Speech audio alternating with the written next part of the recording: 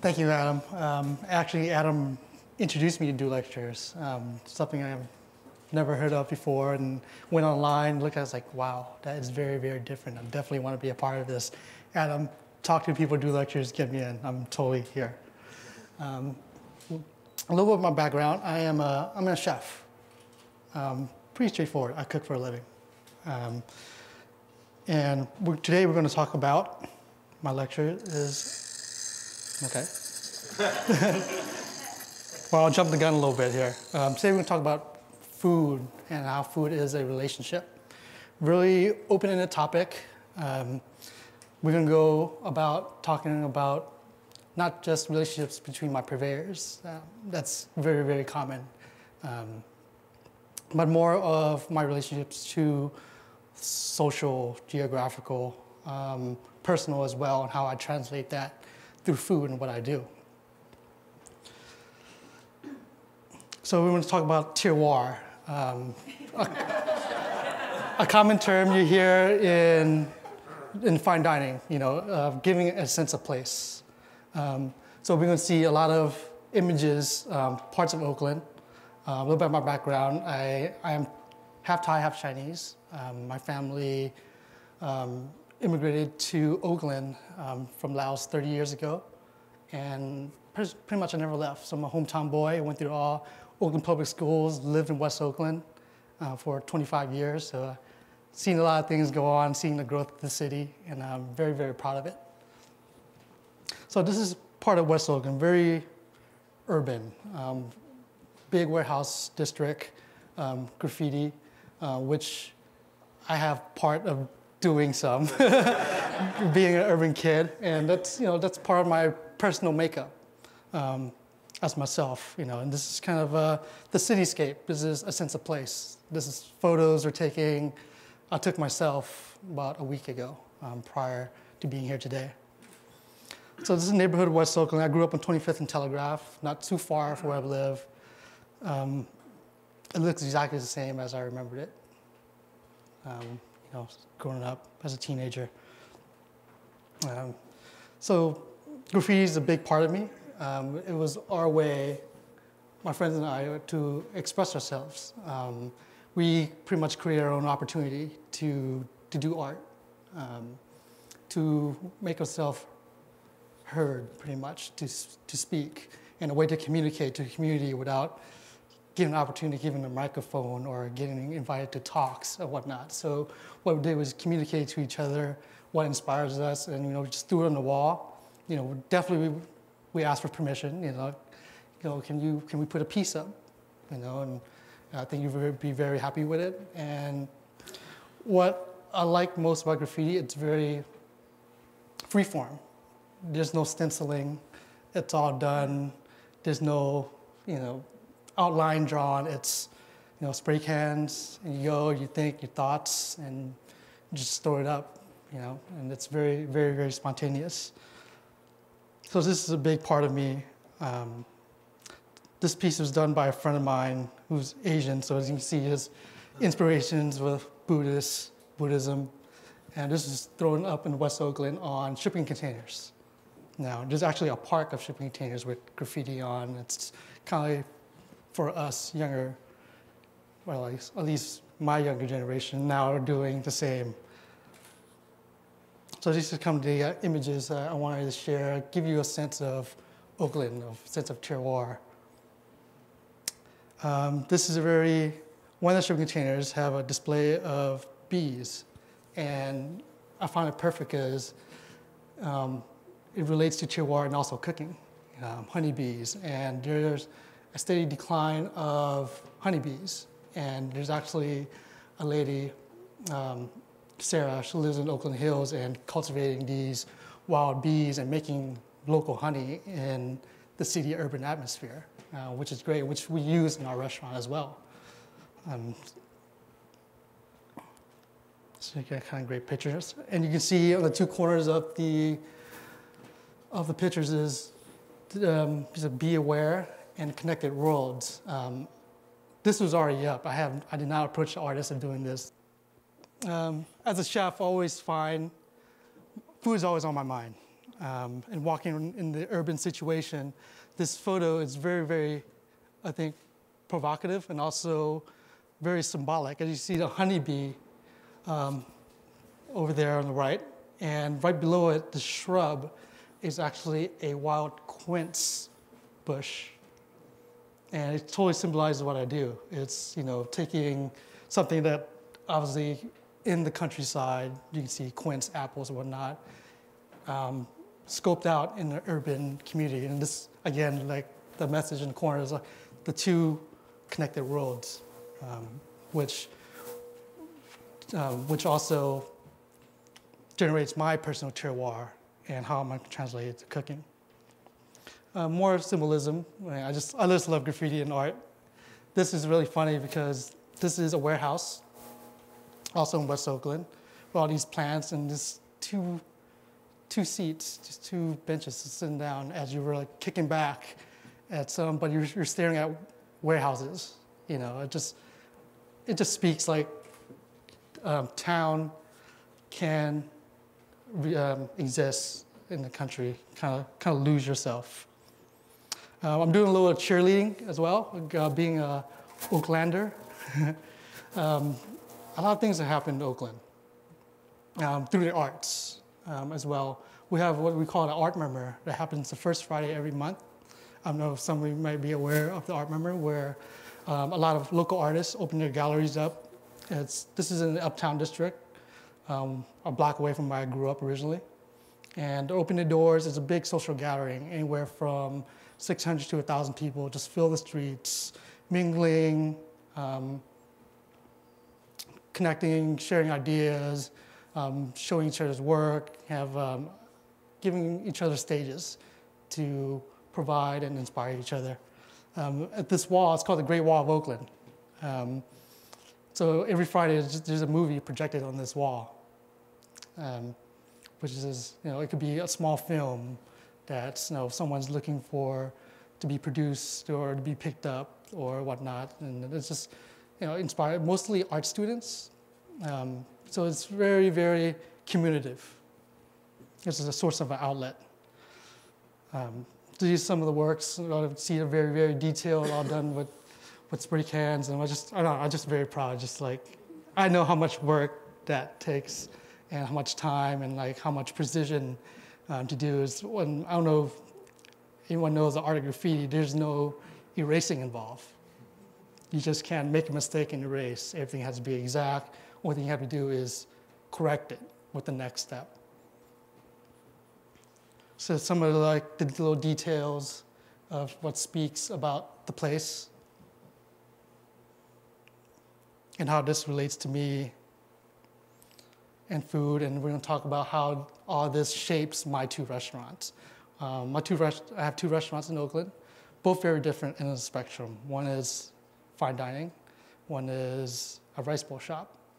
Um, my cooking background, I'm classically trained, went to culinary school, and worked in some of the finest restaurants in the, in the Bay Area, and also went abroad and cooked at a lot of um, some of the top restaurants in the world. Um, and I kind of took that back, and I always eventually wanted to do what's out there in my hometown. Um, you know, just it's great to be home, and you know, why cannot a great place that's in France can why cannot exist in an urban city like Oakland? You know, it's like um, I'm definitely taking a big risk. Opened my first restaurant in 2008.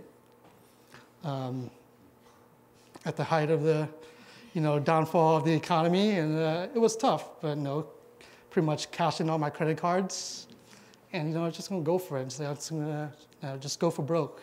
You know, just what I believe in. I think this can be done. Um, we opened in 2009. I did was my own general contractor for the whole project. Um, put together a team, opened 2009, and within three months, really unprecedented, caught me by surprise. Um, we got our first Michelin star.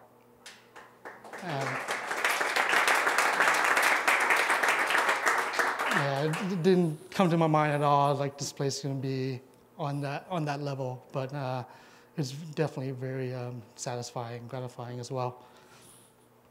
Now moving on, um, talk more about social terroir. Um, growing up in Oakland, um, a lot of low-income families. Um, there's litter, pollution, um, you know, crime, all that involves.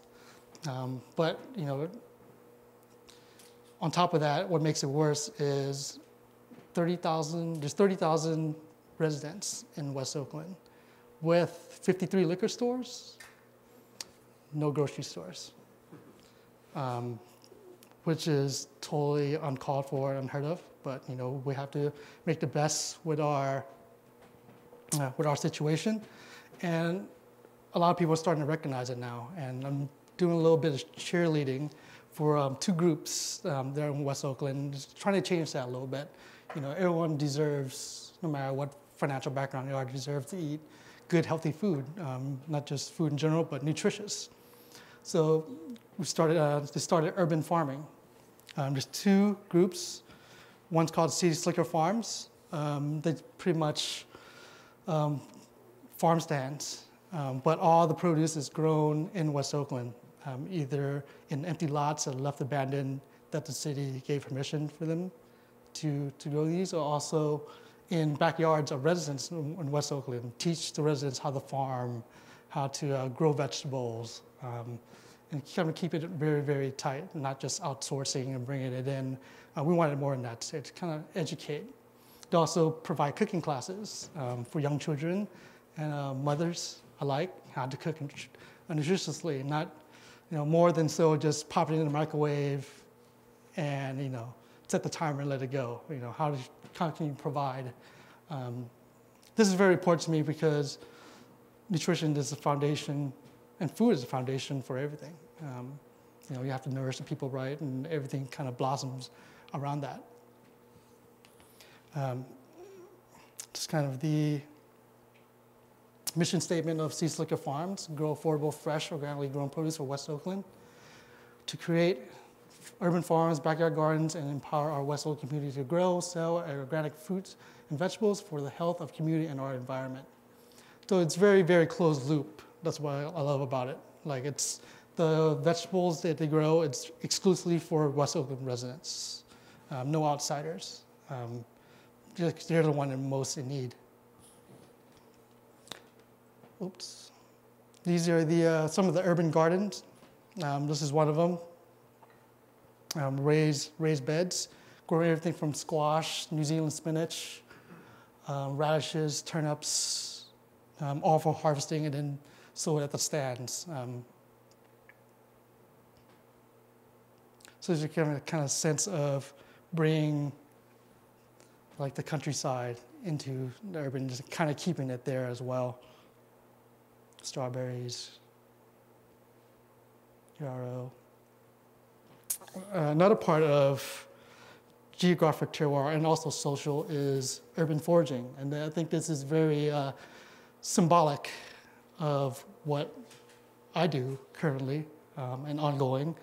Um, I think this message is also by artists in West Oakland that sculpture is made by rebar and wire. Um, it's about 40 feet tall. Um, so these are things that we forage for in our urban community. Uh, wood sorrel kind of grows everywhere. Blackberries, juniper, tetragon, or New Zealand spinach, rose hips, wild roses. Some of these are in the foothills of Oakland Hills. Some of them are just parked that's across the street from the restaurant. Rosemary, yarrow, crab apples, crimson, let's go on. Ramson onions, strawberries, Aronia berries. And the, this is kind of the end product of my fine dining restaurant at Commis. This is a dish we call terroir of the bay. It's a local albacore tuna and all the wild greens that you see that we forage for. So when you eat this dish, it gives you a sense of a sense of place. Like you know, people would ask, "Where do you source your ingredients?" Like, um, from you know, the fish is from outside here in the bay in the Golden Gate, but all the herbs pretty much across the street. You know, we we wanted to do more so than just going to the local farmer's market, you know, because a lot of chefs shop there. It's like, how can we distinguish ourselves even more. And that was it. And I just had a, um, my wife and I, uh, we got married the same year that Commis opened, and we had our first child three months ago. And thank you. And I find this, uh, went to almost like a, an emotional and personal um, dialogue with myself and how does home cuisine or high-end cuisine fit into family life.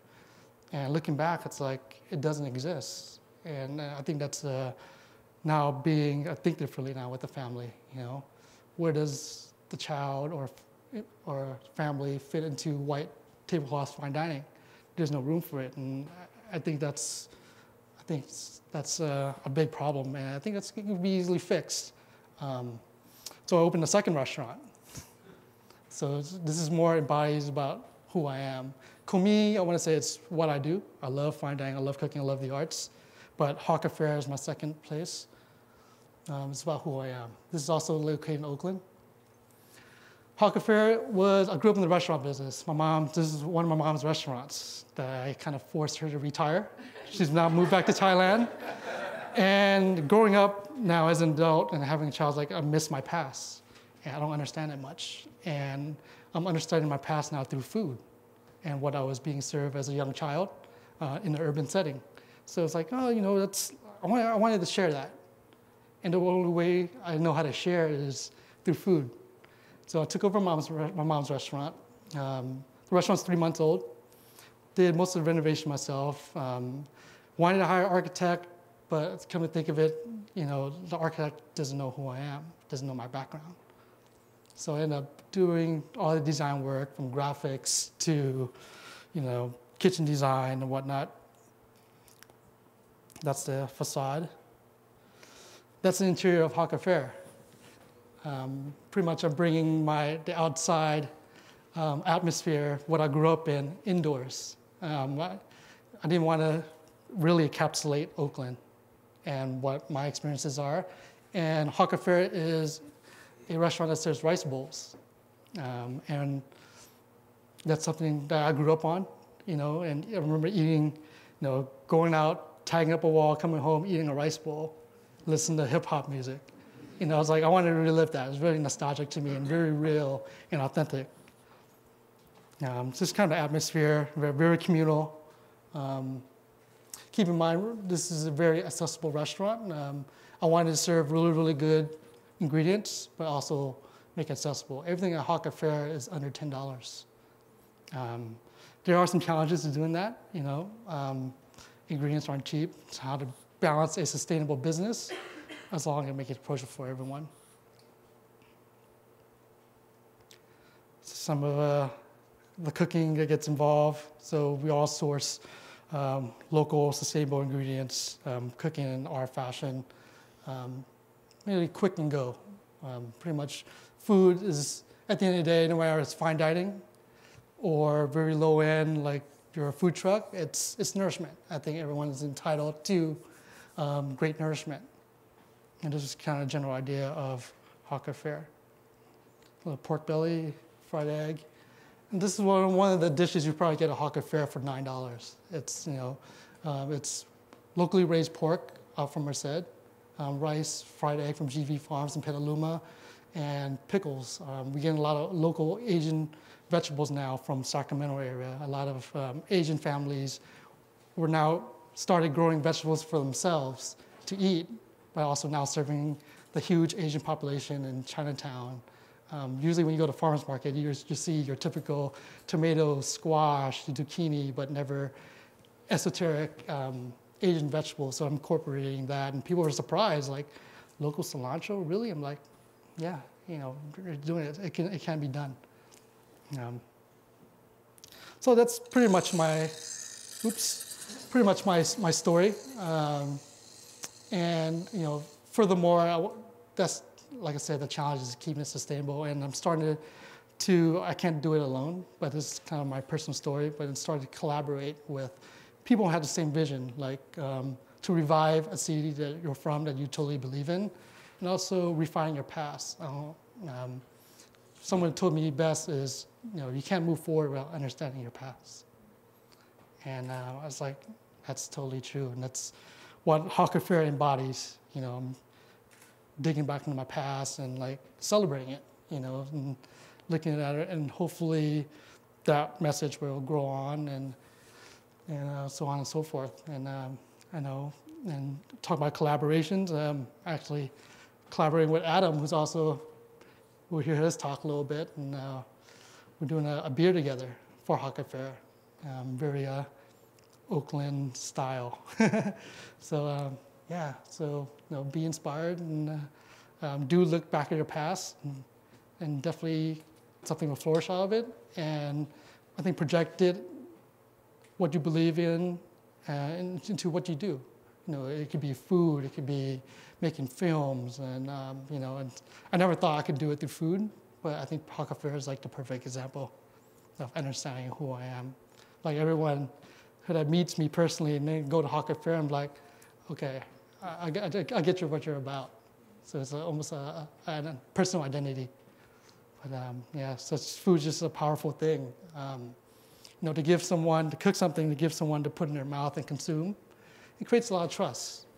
Um, and it's just, uh, it's just more, much more than nourishment. You know, there's thoughts involved. Um, but uh, yeah, that's my story.